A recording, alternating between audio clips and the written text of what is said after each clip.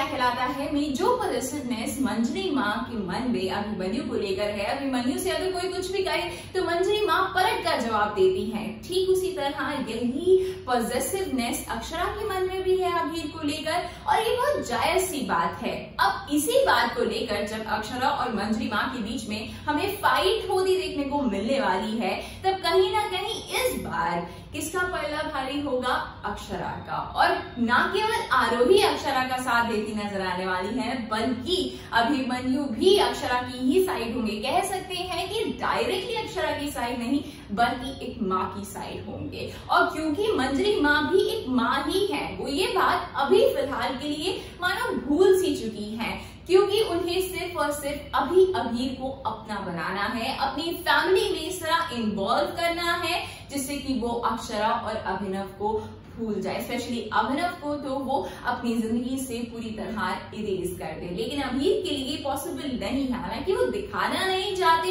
बल्कि मन ही मन में तो अभिनव और अक्षरा ही उनकी पूरी दुनिया है।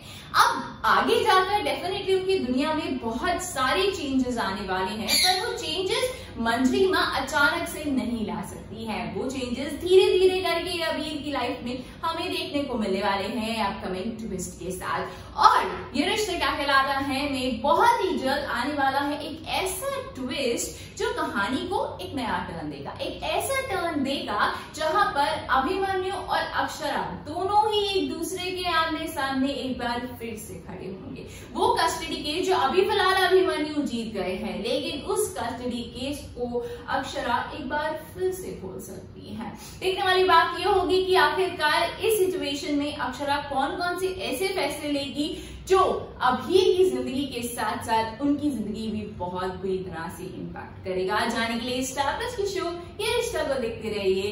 स्क्रिप्टेड को सब्सक्राइब करना बिल्कुल ना भूलें। Till then everyone